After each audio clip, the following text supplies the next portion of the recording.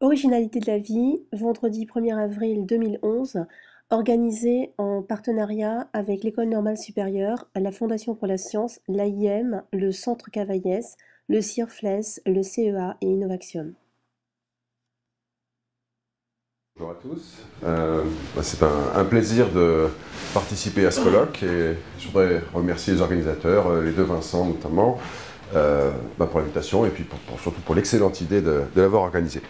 Donc je vais essayer de vous présenter quelques... En fait, je vais, prendre ça parce que parfois je mets le. Pardon. Quelques pistes euh, astrophysiques qui pourraient expliquer donc euh, l'homochiralité de la vie. Euh, finalement, un thème, un, titre alternatif à ma présentation pourrait être comment la lumière a donné un sens à la vie. Et si vous me permettez le jeu de mots, comment la lumière a peut-être donné naissance à la vie. Donc, euh, je vais dire quand même pour les non-spécialistes quelques mots sur la chiralité, aussi bien celle des molécules que celle de la lumière. Euh, ensuite, on va en venir au fait. Donc, qu'est-ce que c'est que le mot chiralité et euh, quelques mots donc, sur cette piste astrophysique. Et ensuite, comme l'a dit Vincent, je vous présenterai donc quelques résultats d'expériences réalisées au laboratoire, donc d'astrophysique de laboratoire, utilisant le rayonnement synchrotron. qui est à la fois une source accordable et dans certains cas à polarisation variable, pour faire des expériences d'interaction matière-rayonnement avec de la matière chirale et du rayonnement chiral, euh, et qui donc, pourrait donner lieu à des processus photo-induits asymétriques qui pourraient avoir un lien avec l'origine de l'homochiralité de la vie. Alors, quelques mots sur euh, la chiralité, qui vient euh, du grec ker, qui veut dire les mains. donc voilà, je vais essayer de poser les micros, voilà. ces molécules sont comme mes mains, euh, elles existent sous deux formes qu'on va appeler des énantiomères, le gauche et le droit. Euh, alors vous voyez que mes mains ne présentent aucun élément de symétrie. Ces deux énantiomères ne sont pas superposables. En revanche, ils sont image l'une de, l'autre dans une symétrie miroir. Alors ce type de molécule est extrêmement euh, abondant autour de nous, notamment dans la biosphère. Donc il faut savoir que les briques des protéines euh, donc vous savez que les protéines sont au cœur du, métabolisme. Ces briques, qu'on appelle les acides aminés, sont des molécules chirales. Euh, on a parlé euh, un petit peu de glycine tout à l'heure, qui est le seul acide aminé non chiral, mais tous les autres sont chiraux. Les sucres, qui sont aussi les briques des acides nucléiques, sont des molécules chirales. On les rencontre aussi dans l'industrie médicale, alimentaire, etc. Alors, ces molécules vont, les deux énantiomères de ces molécules chirales ont exactement les mêmes propriétés physico-chimiques, sauf quand elles sont plongées elles-mêmes dans un milieu qui est chiral. Et là, il va pouvoir y avoir expression donc, de cette chiralité. Alors ça pourrait être donc, dans un milieu constitué euh, d'autres molécules avec lesquelles elles vont former des complexes. Et par exemple, gauche-gauche ne va pas donner le même type d'information que gauche-droit. Ou euh, ça va être en physique, on va en parler, l'interaction avec des champs physiques. En l'occurrence, on va voir la lumière polarisée circulairement, qui est un champ chiral. Alors, la reconnaissance chirale, donc c'est ce qui se passe euh, dans le premier type d'interaction dont je vous ai parlé. Donc c'est un processus fondamental du métabolisme, c'est un, des mécanismes principaux euh, d'action des médicaments, c'est comme ça qu'on détecte les odeurs et les goûts. Et je vous en donnais une image très simple, c'est finalement ce que vous faites tous les matins quand vous mettez vos chaussures, vous essayez de faire reconnaître euh, un pied droit par une chaussure droite. Si vous vous trompez, vous avez tout de suite l'information. Euh, c'est que vous n'êtes pas bien réveillé. Et par contre, vous n'avez pas ce type d'information avec des chaussettes qui, elles, sont achirales puisqu'elles présentent un plan de symétrie verticale. Il n'y a pas de chaussettes gauche ni droite. Euh, enfin, sauf au Japon. voilà. Mais bon, disons en tout cas, moi, les miennes aujourd'hui sont achirales. Alors, voilà, et, alors c'est exactement sur ce même type de, mécanisme qu'est basée la, détection des odeurs et des goûts. Par exemple, le limonène, qui est une molécule organique simple, possède l'énantiomère gauche qui sent le citron, donc comme le nom l'indique, et l'autre, l'orange. Donc parce qu'on a des détecteurs chiro au niveau des narines qui font que l'information gauche-gauche n'est pas la même que l'information gauche-droite. Alors, quelques mots sur la lumière, parce que ça va être euh, l'ingrédient indispensable à nos expériences. Donc la lumière peut se décrire, comme vous le savez, par des quantités scalaires comme la longueur d'onde, donc qui définit la couleur ou l'intensité, mais aussi une propriété géométrique. Alors, comme vous le savez, euh, la lumière est associée à un champ électromagnétique, et notamment un champ électrique qui transporte l'information. Et on va regarder dans quelle direction vibre ce champ électrique. Alors, il peut vibrer, comme vous voyez ici, dans un plan, et on va parler de polarisation linéaire, horizontale ou verticale. Et dans certains, dans certains cas, ce vecteur champ électrique va décrire un cercle qui, se propageant, décrit une hélice. Hélice qui peut être gauche ou droite, auquel cas, dans ce cas-là, on va parler donc de polarisation circulaire.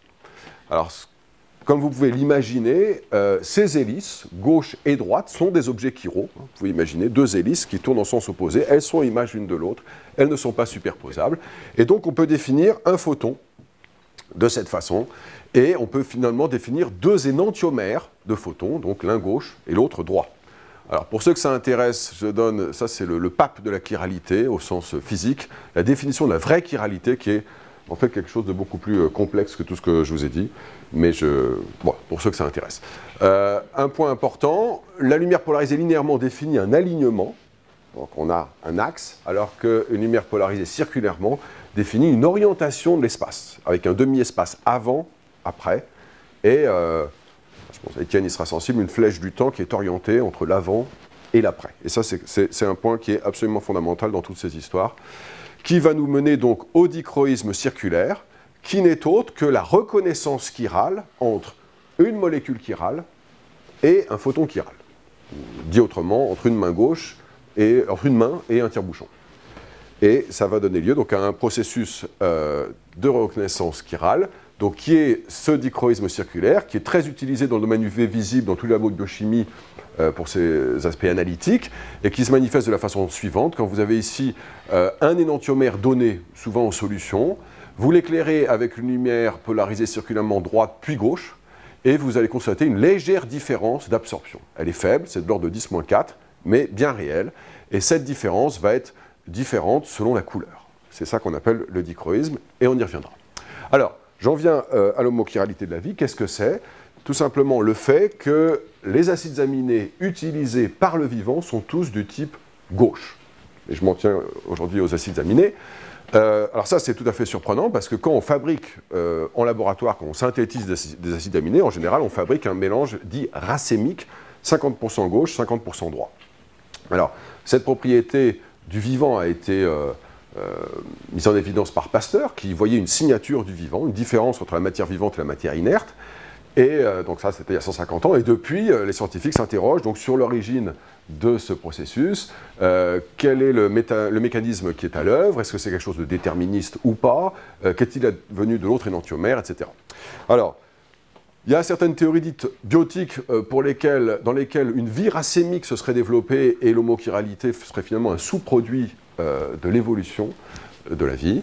Euh, mais beaucoup de gens contestent ce type de théorie, euh, notamment le fait est-ce qu'une vie racémique serait possible? Il y a plein d'arguments qui montrent qu'a priori euh, ça semble difficile, des arguments statistiques, des arguments de structure, notamment l'absence de, feuillets bêta, mais je ne rentre pas dans le détail. Donc on, pense plus, on penche plutôt sur des théories dites abiotiques dans lesquelles au contraire l'homochiralité serait une condition nécessaire à l'émergence et au développement de la vie, donc en tout cas serait antérieure euh, à la vie elle-même. En tout cas, vous voyez le lien euh, intime entre l'origine de la vie et l'origine de l'homochiralité de la vie, euh, d'où l'intérêt d'y travailler.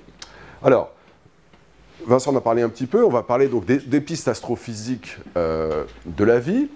alors, le point, un des points majeurs pour évoquer une origine extraterrestre des briques du vivant. Alors, tout de suite, je, tiens à préciser, je, parle des briques, je ne parle pas ni du ciment, ni de la maison, ni du grand architecte. Euh, il y a d'autres gens beaucoup plus qualifiés que, moi pour en parler, et donc il n'y a rien de transcendant dans tout ce que je vais dire. Cela dit, donc ces briques, euh, disons que cette piste astrophysique, elle s'appuie sur le fait que des excès énantiomériques ont été découverts dans la météorite de Murchison. Donc une météorite dans laquelle on a découvert des acides aminés, beaucoup, et avec un excès et dans le bon sens. Donc ça, c'est quelque chose qui interpelle.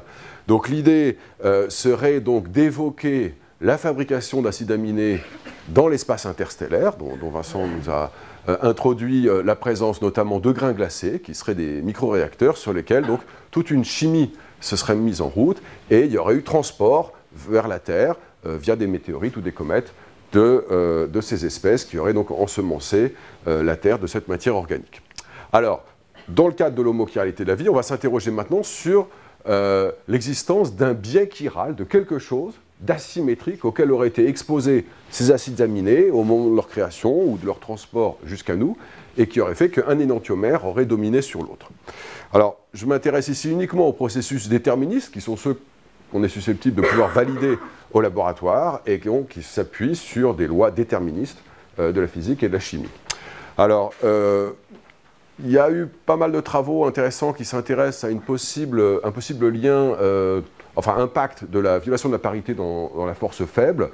Euh, je n'irai pas en détail, elle serait responsable de, différences extrêmement ténues dans les niveaux d'énergie euh, des deux énantiomères, et il y a des gens qui font des très belles manips avec des lasers là-dessus, mais pour le moment, il n'y a rien eu d'expérimentalement découvert.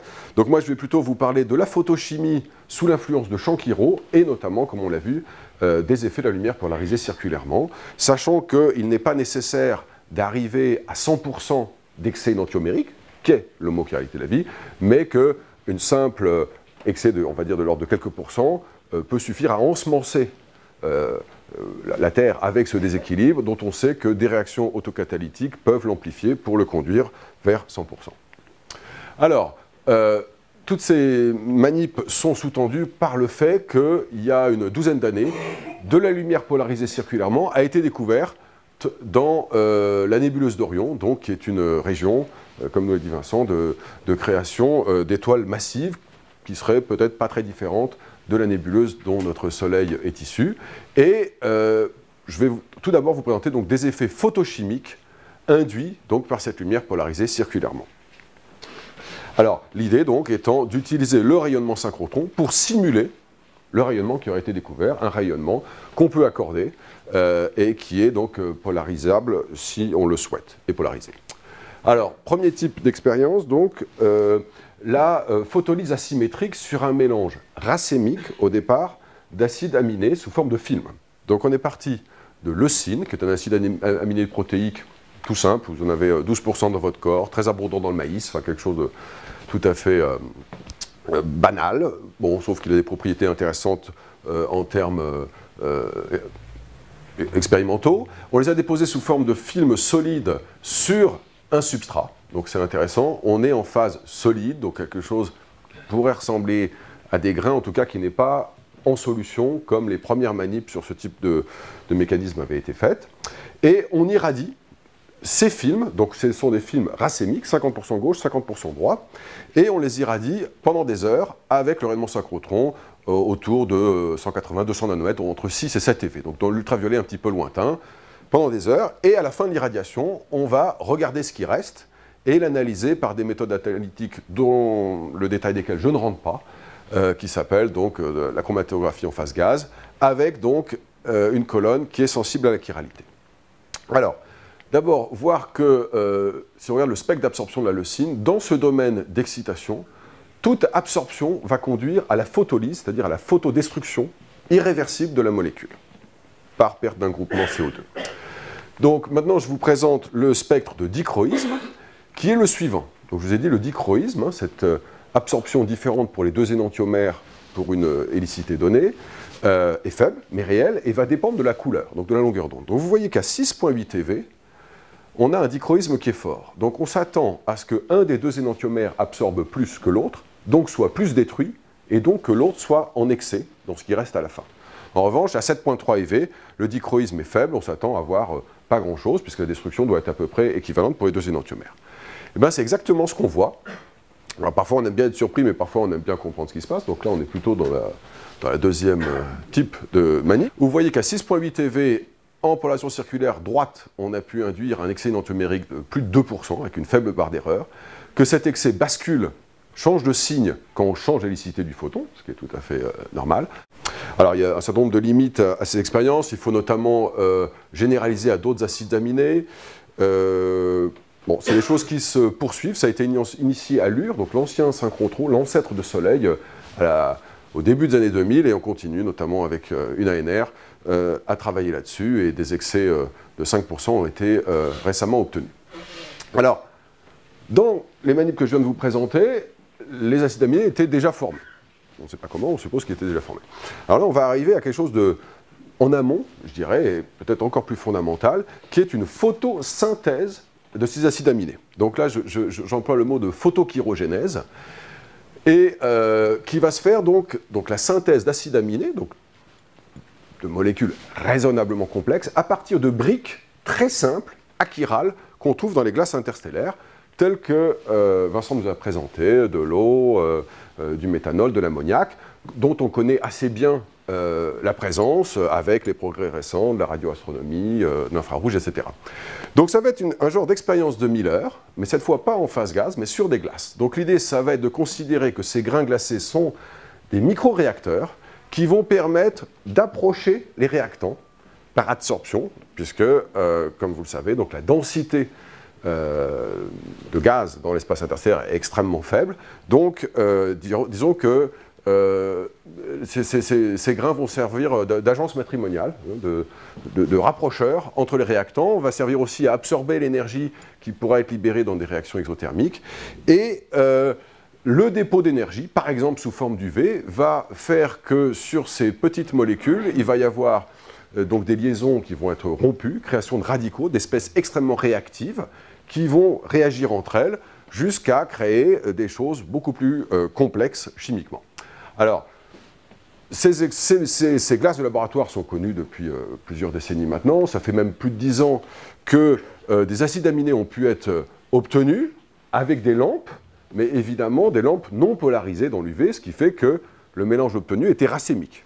Il produisait des acides aminés, mais autant de gauche que de droite.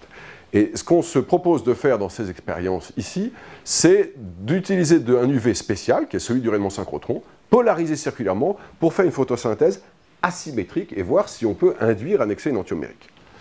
Alors c'est l'expérience MICMOC euh, qui a commencé euh, au laboratoire Lure donc, euh, à la fin, vers 2002-2003, qui est la suivante. Donc on a ici un cryostat, donc quelque chose de très froid, sur lequel on va déposer donc un mélange gazeux fait de ces espèces très simples non chirales. Et pendant le dépôt, on a une irradiation avec le rayonnement synchrotron qui arrive par ici. Alors, euh, l'idée, donc, on irradie à froid, à 80 K, puis dans la phase de réchauffement, on continue d'irradier, les volatiles partent, il reste à la fin un résidu, et c'est ce résidu qui est, qui est hydrolysé d'abord, puis analysé par ces techniques de GCMS. Alors, euh, les premières manips en 2003 ont été un peu décevantes, dans le sens où on a certes créé des acides aminés, vous voyez par exemple l'alanine, euh, mais en termes d'excès énantiomérique, c'est vraiment peu concluant, puisqu'en gros, c'est 1%, plus ou moins 1%. C'est-à-dire que, bon, en gros, on ne peut rien dire. Donc, euh, bon, c'était un petit peu décevant. On, a continué et très récemment, sur la ligne donc désir de soleil, qui a un, flux plus, plus, fort, ça s'est mis à marcher avec un certain nombre d'améliorations à tout niveau, que ce soit l'irradiation, l'analyse, etc. Et pour faire court, donc vous voyez sur l'alanine, qui a été l'acide aminé le, majoritairement formé, les résultats sont tout à fait probants, puisque quand on utilise de la lumière polarisée circulairement droite, on fabrique un excès numérique ici de moins 1,3% avec une barre d'erreur faible, d'autant qu'elle est euh, mesurée à 3 sigma, donc ce sont vraiment des, résultats tout à fait solides. Quand on change l'hélicité du photon, quand on passe en lumière polarisée circulairement gauche, on change bien le signe de l'excès énantiomérique.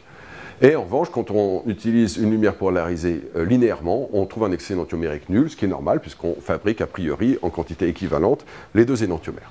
Donc là, c'est important, euh, ce résultat, puisque c'est, on est vraiment dans un scénario astrophysique complet, de type déterministe, abiotique, dans lequel euh, l'homochiralité serait due à un apport donc, sur la Terre primitive d'une matière organique prébiotique, venant a priori des espaces interstellaires, et qui contient un excès énantiomérique initial.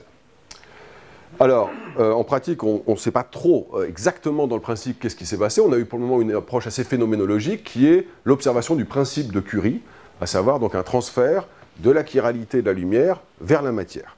Alors, ensuite, ce qui s'est passé au niveau de la réactivité des radicaux, est-ce qu'on crée justement une macromolécule, des macromolécules avec des centres stéréogènes, qui seraient ensuite, donc, au moment de l'hydrolyse, qui pourraient simuler la chute dans l'océan primordial, coupées euh, pour donner des acides aminés? Bon, c'est des choses qui sont en cours d'investigation, de même que le processus photochimique à l'œuvre. Est-ce que c'est une synthèse asymétrique suivie d'une destruction énantiosélective, ce qu'on a vu tout à l'heure sur la leucine, ou autre chose? Donc il y a des manips qui sont en cours, il y a du temps de faisceau qui, est en train d'être demandé là-dessus. Alors je voudrais finir en quelques minutes sur une troisième piste possible, donc qui est cette fois sur des espèces en phase gaz qui serait donc irradié par du rayonnement polarisé circulairement et qui s'appuie sur un effet qui est connu depuis seulement une dizaine d'années, qui s'appelle le dichroïsme circulaire de photoélectrons, PICD. Alors l'idée est la suivante. Euh, on est en phase gaz, dans le repère du laboratoire, on a ici un, un énantiomère pur d'une molécule chirale. Euh, ce rayonnement polarisé circulairement de l'ultraviolet lointain va photoioniser la molécule. On fait de la photoémission, on va arracher un électron. Et on va regarder dans quelle euh, direction de l'espace part cet électron, repéré par cet angle θ, euh, par rapport donc à la direction de propagation du photon.